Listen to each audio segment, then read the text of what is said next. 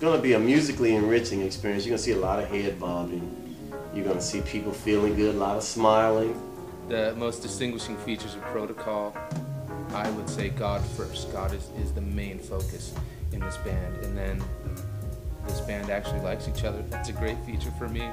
Then you find your hangout spot and you hit the pocket and you know the funk starts to come out and, and you're enjoying yourself and then you, you, you have these um, searing sax solo along with the guitar solo and just